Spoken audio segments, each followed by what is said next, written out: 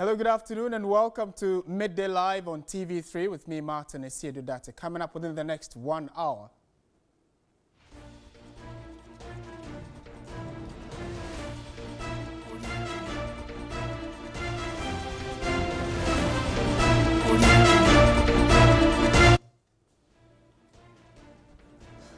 Pupils from at least 28 schools in Togo secretly write the BECE in Ghana without accreditation. We have exclusive details coming up shortly. Also, Australia becomes the third country to issue threat alerts on Ghana to its citizens. And on the international front, United Nations peacekeeping mission in Mali sends aerial support to areas where nearly 100 people were killed so as to prevent a new attack.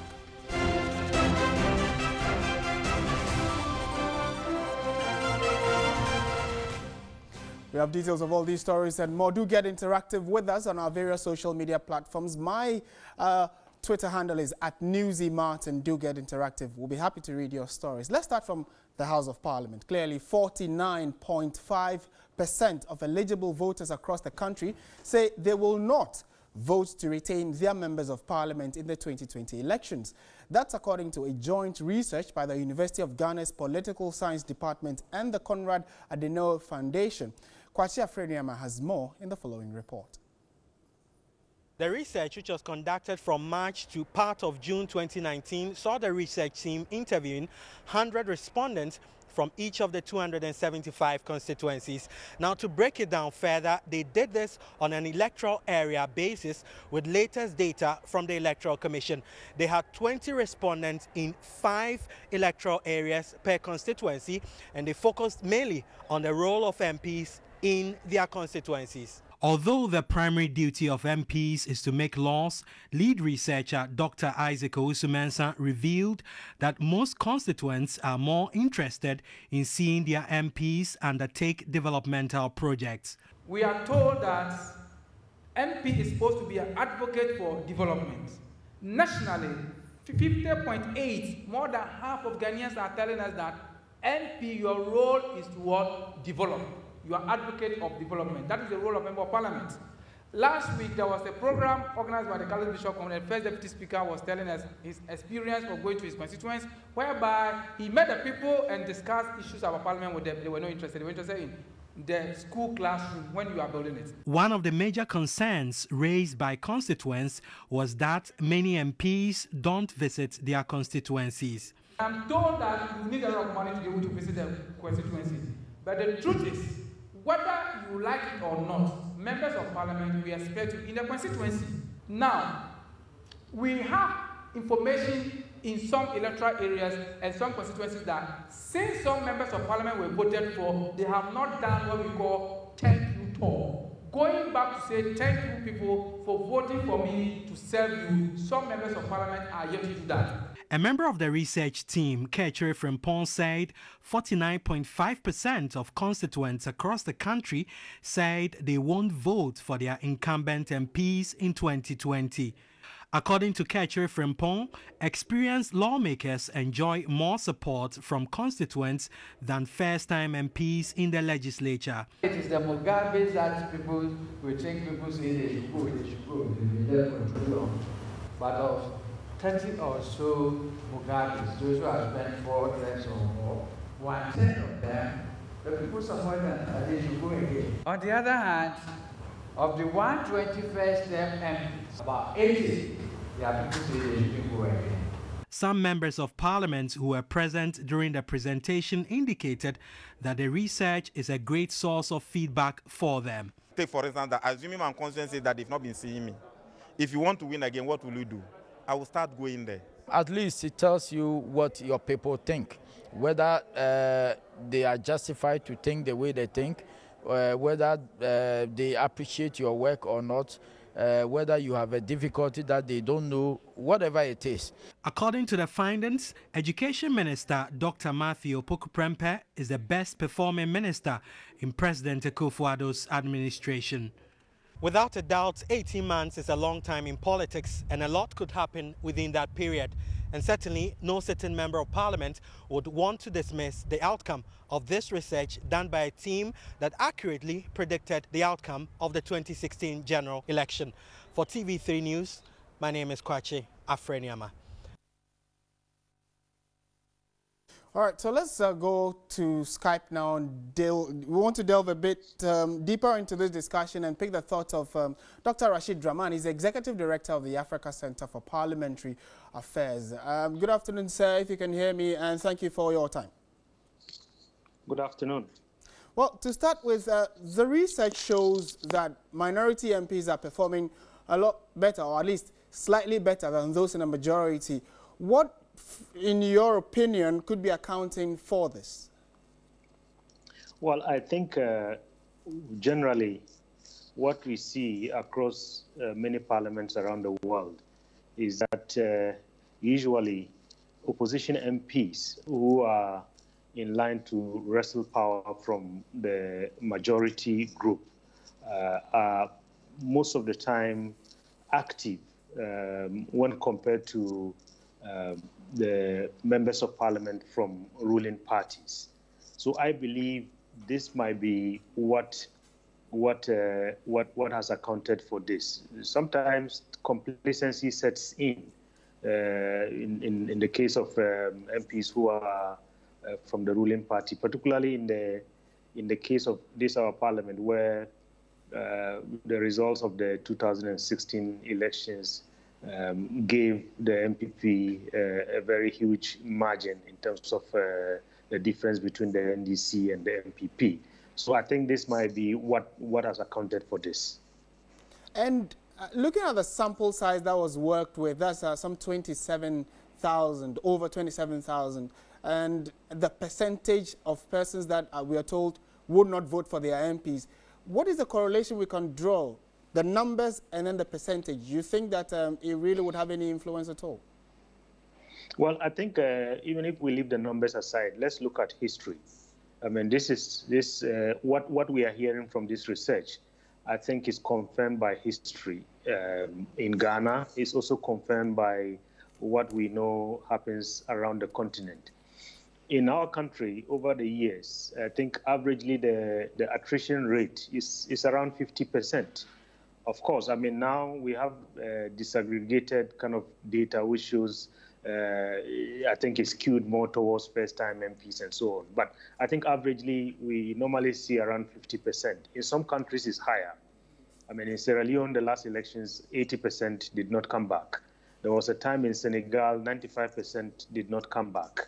So I think what we are seeing in terms of the data, um, is consistent with history, is consistent with uh, with reality, both in our country and in, uh, in so, other so countries around So what you're saying is there is the possibility that this could translate to reality come 2020, where majority of the uh, MPs on the uh, the government side are likely to lose their seats. Well, I mean, I think uh, that is that is uh, that that is a fact. I mean, not only the government side. I think the opposition the opposition itself should not be should not be smiling about this. I think uh, this is perception, but sometimes uh, it translates very much into reality. And then there could be some some uh, some some um, maybe, if you like, uh, uh, um, uh, outliers. I mean, some surprises. And uh, before we let you go, there has also been the concern of um, the time that this research has been conducted and when the reality sets in in 2020 and that the electorate themselves, one, are not properly educated on what the role of an MP is. And then also it's really quite, what, what 18 months to go. There is a possibility when they start getting the T-shirts and the five Ghana cedis and, and the bags of rice, their minds could turn. Based on the research that you mentioned, does that play a role at all in the final decision? Well, I mean, that, that's going to play a role. I mean, uh, earlier on, I was talking to another group and I was saying that, look, the reason why we see all these uh, kind of data that we are seeing about our um, MPs and our parliament is because of the structure of our economy. Until, until the, the structure of our economy changes, until people are able to meet their bread and butter issues, we are going to continue to see these kinds of uh, these kinds of things.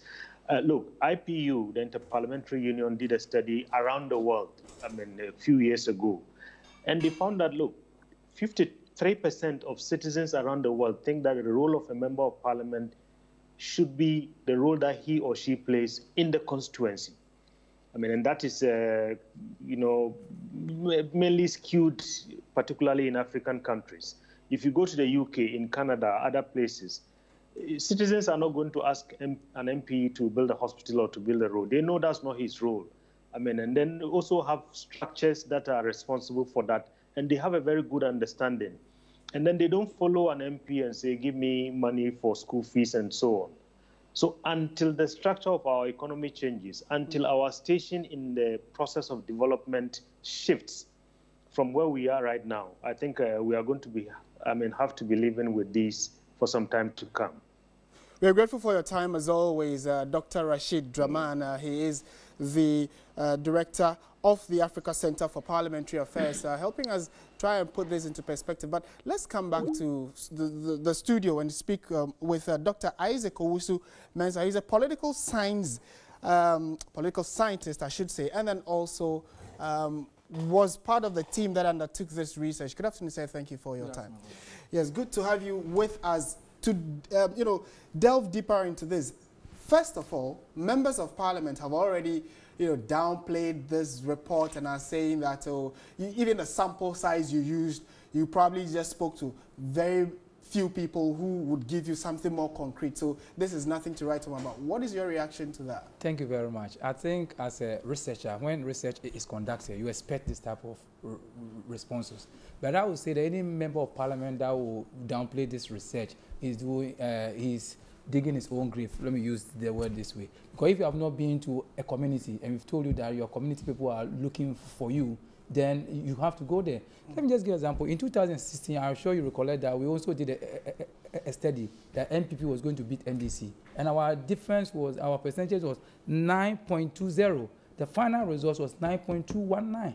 Mm. So it was. So, so, at least your sample size and your final outcome is almost equal to the uh, final election results. And let me also tell for the consumption of the public and of course the members of parliament as well.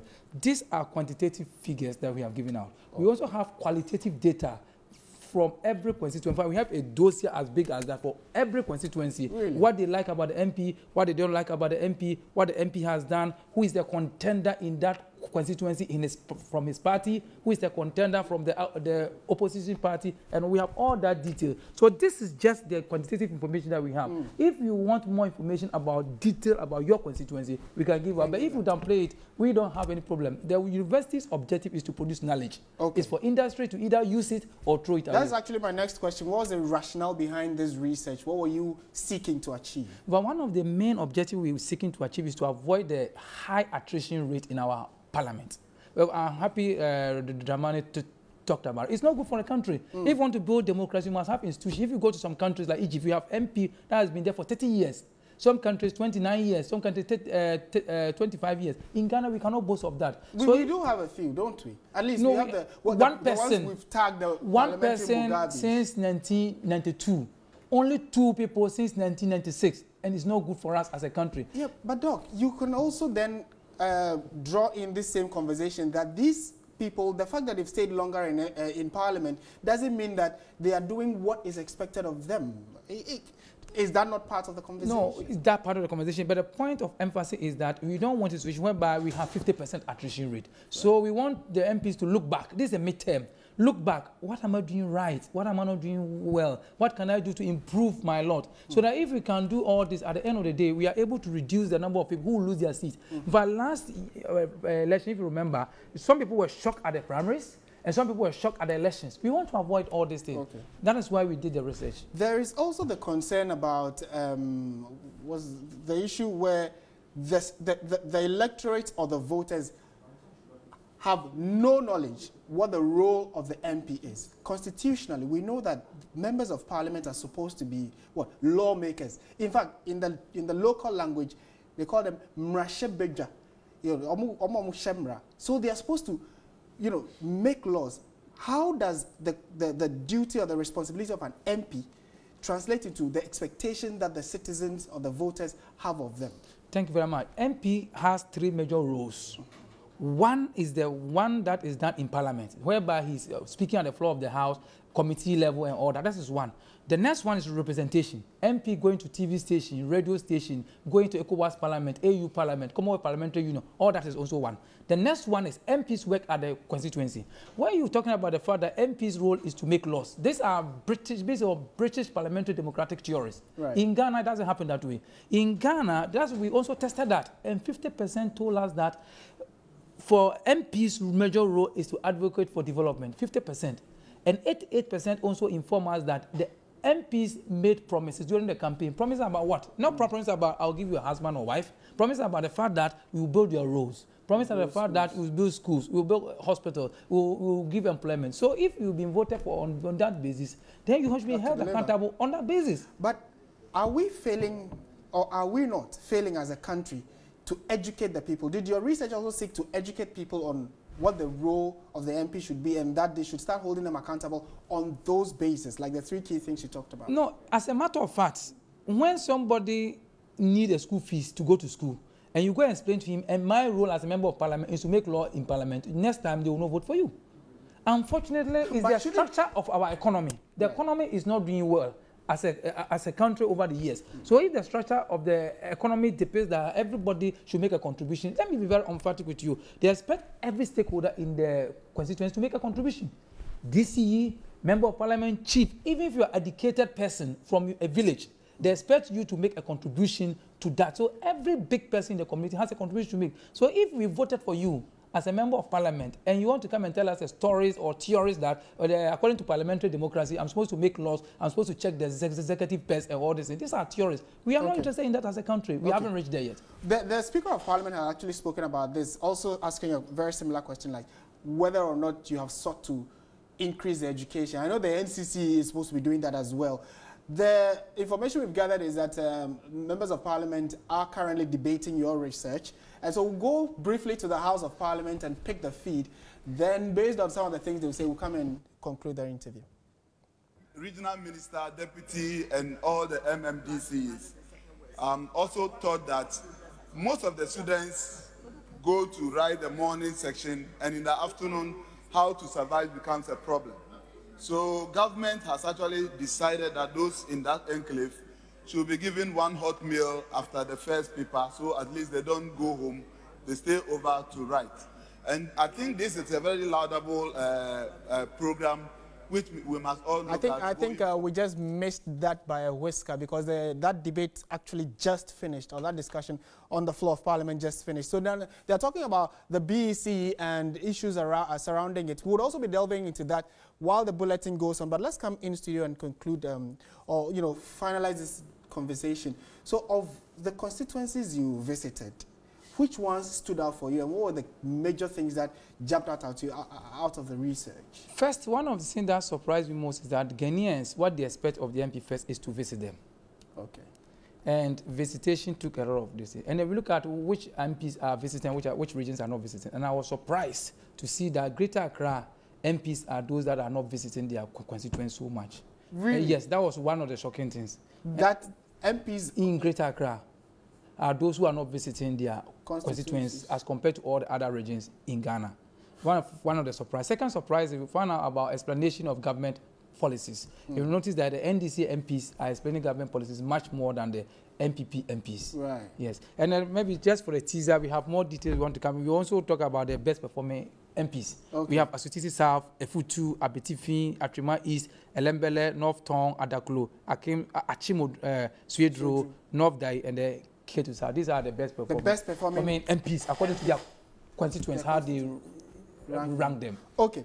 Uh, TV3 certainly will be getting that dossier, and I will pick out some of the, uh, the notable uh, components of it, and then we'll make it available on our website, and then also we'll be discussing it further in our subsequent bulletins. But thank you very much. Uh, Dr. Isaac Owusu-Mensah is a political science, political scientist, and then also uh, part of that research that rated and ranked MPs according to performance based on what their constituents are saying.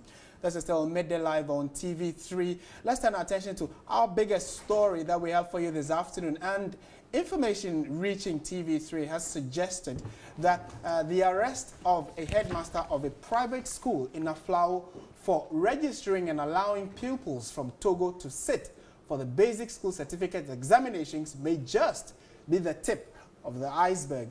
Exclusive information made available to the news team indicates that this is a business that has uh, been running for a while. The Togolese pupils, the news team learns, are pupils of purposely, who are purposely set schools running the Ghanaian syllabus in Togo.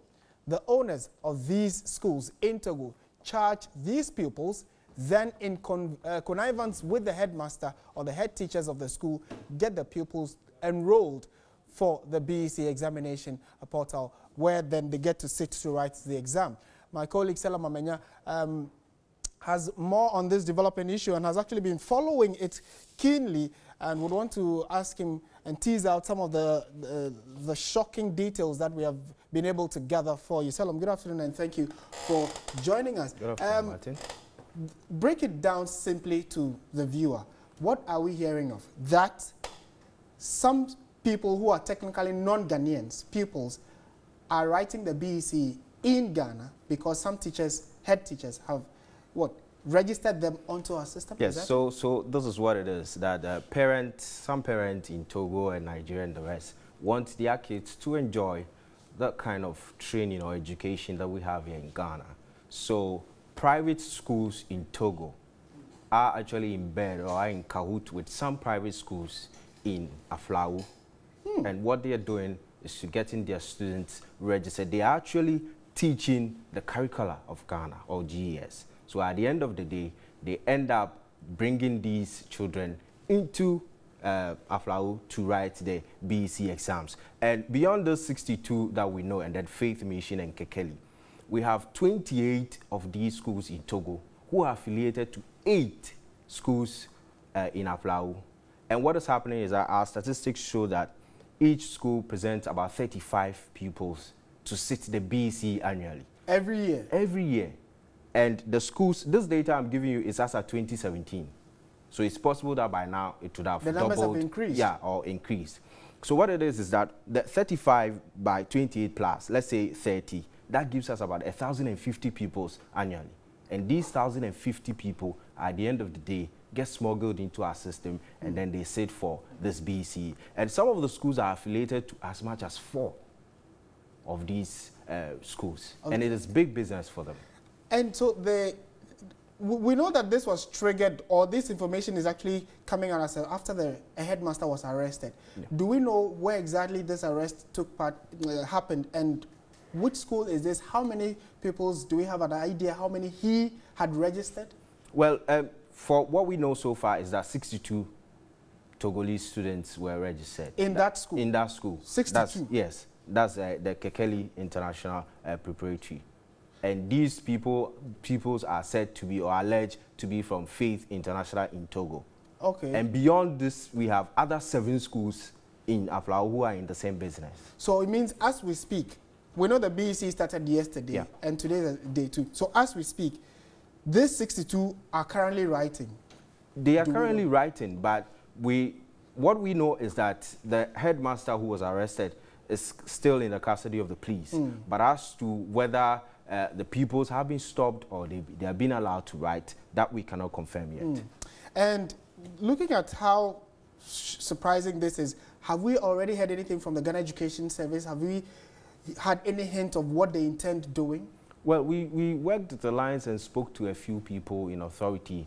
Uh, they claim not to have much information, so what they're doing is gathering information, and then uh, I'm sure by 360 we'll have a lot of information to put out there. We have a lot of figures, a lot of data and, that will be uh, put in our subsequently. And you're telling us that um, this probably must have started in 2017. Before 2017, before 2017, the investigations was triggered by the fact that the, the, the then candidate, that is uh, Nana Akufo-Addo, was uh, championing or trumpeting that he was going to have free SHS. So the investigators decided to look at what this might mean because we have scenarios like where our fuel was, was being subsidized, it was being uh, smuggled and yeah, all yeah, of that. So they decided to do this investigation. And uh, this story that broke yesterday actually triggered that uh, thing. Wow. All right, uh, we are grateful for your time and uh, thank you very much. Uh, Salama Menya is a, a colleague here in the, in, in the, at TV3 and um, he is helping us, you know, break down that news we have heard regarding the, the, the arrest of a headmaster that has, you know, unleashed all sorts of information regarding some Togolese pupils who have been registered in Ghana to write the BEC with the sole aim of entering our secondary universities, uh, secondary, uh, you know, schools because of the free senior high school that um, uh, the country is currently running. Let's go on to the Skype now and speak to Peter Partey Anti. He's the director of, uh, executive director of the Institute for Education Studies. Uh, Mr. Anti, good afternoon and thank you for your time. Uh, does this come to you as a surprise in any way? Good afternoon. Yes, uh, it's it's quite interesting that um, we we we are we are having such an information. Um, it means that a lot of the people on the, on the in the background, I, I mean the uh, district education offices in the in that particular area are not doing their work very well. And for the fact that I, I, what we are getting now is even just from 2017, do you glean in any way that it probably must have been ongoing for some years now? Yeah, there might be that possibility. But then let's let's look at this whole uh, incident in, in, in, in respect of our Education Act. Of course, we know that education in Ghana is governed by the Act 778, which was passed in 2008. And, and it's clear in it that education is supposed to be provided by the Republic, Republic of Ghana for the people in Ghana. And then the private sector is also given the opportunity to provide education for to supplement what the, the government is doing. Now, how do we bring in the private sector? The, the Act makes it possible that anybody who wants to start a private education system should have uh, an author, authorized permission from the Ministry of Education and, of course, the Ghana Education Service and the Accreditation Board. Now, if these schools that we are talking about are operating in Togo, it means that totally they do not even qualify to operate to to sit in for our basic uh, examination because it means they are not covered by the laws of Ghana there's no way that we are able to we will be able to monitor them. There's no way that we can vouch for the quality of education that they are giving to the kids out there. So they do not qualify at all. Now mm. in talking about affiliating schools in togo to ghana I, I, I think there is a system in place that that looks at affiliation. Normally affiliation has to do with our tertiary institution. So if if there is a, a, a school in Togo that is affiliated to a school in Ghana, then it means that the the the, the Ghana Education Service, National Accreditation Board, the Ministry of Education should be aware should be aware of this. If they are not aware, then it means that what they are doing is also an illegality because it's it's highly impossible for a private school in Ghana to say that they they have schools in Togo that is affiliated to to schools in Ghana. I think that is the only way that they are able to bring in their their walls to to write uh, the kids to write the exams. So we, the, the, the, do we even have I, I have always known or the, the, the conversation has always been that affiliations has always been at the higher level isn't it from maybe a university level a tertiary level so exactly. since that when is, did we have basic level um, it, affiliation? It, it, it's unheard of it's unheard of it's unheard of. So I, I, I, that's why I said that there, there's a level of neglect from the district education director. That the reason why I'm saying is this is this. You see, every year we know the number of students that progresses, and this is possible because circuit supervisors visit these schools, so they should know the number of students that are in each of all of these schools. Now, mm. if you are going to register these kids and you see that there is an astronomical increase in the number of candidates that are, are registering for the BCE, it should trigger some kind of alert in anybody, in any official at the district level, and, and questions should start, should, you should start asking questions. Hmm. How come that how come that your your number of progression for GSS1, GSS2 is around 80 and you're, you're registering 180 students? Right. That, that is a clear indication that there's something fishy going on there. Somewhere. So they neglected their work, and, and that is where we are, where we are now. I think the, the authorities should step in and, and, and make sure and they end this. this as early as possible because we, we cannot continue. You, you know, already the free SHS is is is, it's under its own stress, of, isn't it? Yes, and, okay. and and you are bringing in foreigners to come and enjoy, and and it's it's, it's hmm. not appropriate. Right. Peter, we'd have to leave it here for now, but thank you very much, for, uh, as always, for making time to speak with us. Peter Partey Anti is the Executive thank Director you. for the for Education Studies. Bottom line, something is going wrong somewhere. Would uh, dig deeper into this, speak to the authorities and uh, our correspondents in and around the country would uh, also give us an update on this. Stay with us. News 360 and our subsequent bulletins will bring you an update on this shocking and developing story. This is still midday live on TV3. Let's uh, do the MTN video report and our citizen journalist Julius Adade highlights on the constant flooding on the main road leading to Community 25 in Tema and warns city authorities to ensure that the bridge um, on that stretch is widened.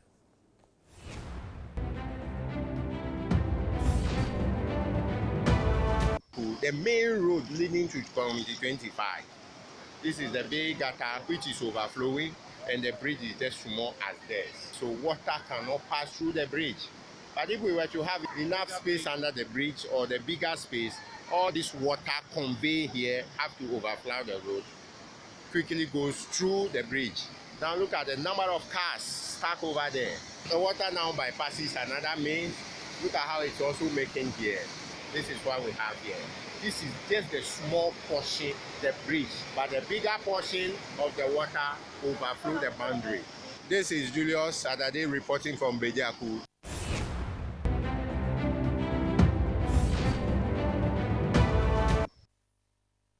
So wherever you find yourself, if you do have any story to give us, you can send it to our MTN video uh, report WhatsApp number, which is 055 1433044.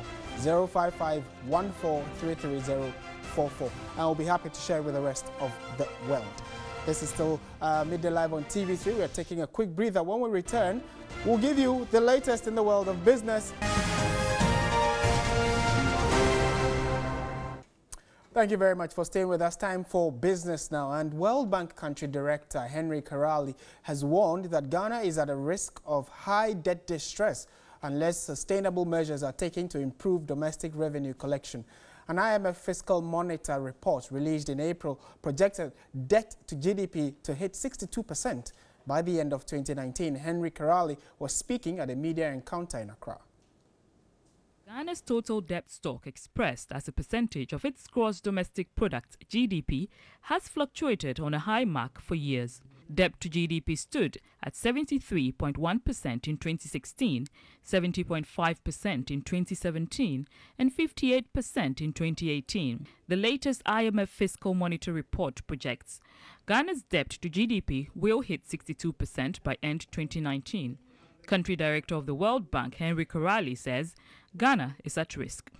The debt sustainability analysis that is done by the World Bank and the IMF does look into this as a key uh, indicator of debt distress.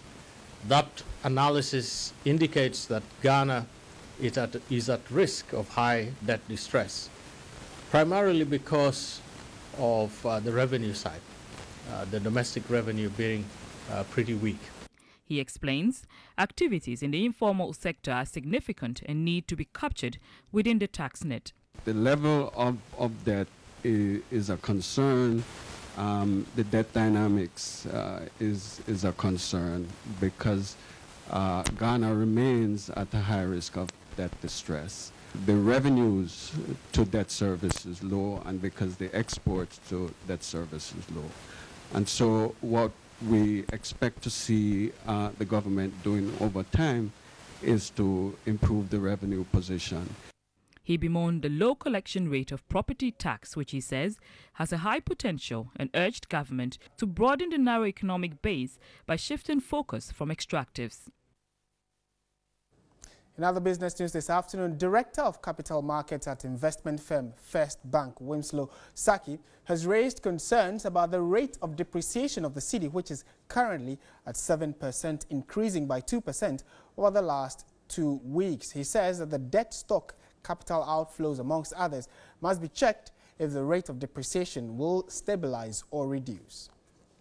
Yes, uh, the currency, it, it appears that uh, the currency is slipping a bit. Mm. Uh, a few weeks back, we were doing 5.12.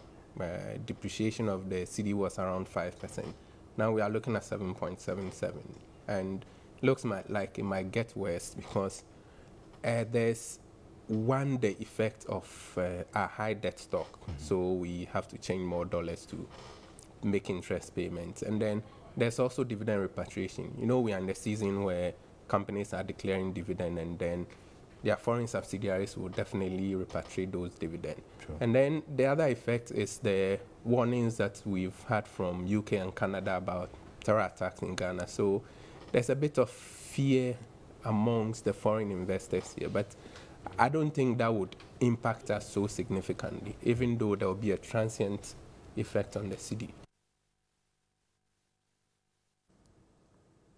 So that's it for business on Midday Live. There's more news on our website, 3news.com, where we'd also be happy if you can get interactive with us and uh, we'll send the rest of the information you're, you know, you're sending to us to the rest of the world by sharing it and getting your thoughts on that as well. Now, there's another disturbing story that we are monitoring for you. It has to do with the back-to-back -back warnings of foreigners who are coming into the country.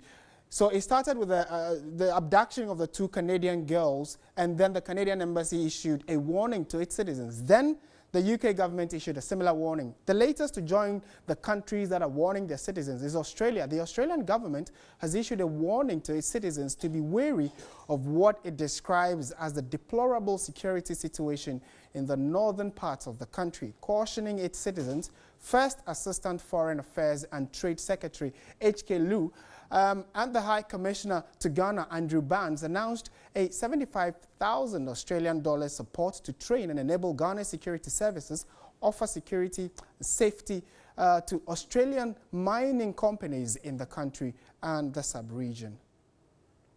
Australian mining companies have enormous interest and already a huge amount of investment in West Africa. And we don't want that to be under any threat, especially by terrorism or security issues. So the conference has been organized to make sure that we have all, we actually share all the intelligence and information that we have on hand uh, about how we can keep ourselves safer and how we can actually assist host countries to also deal with these um, issues that are emerging.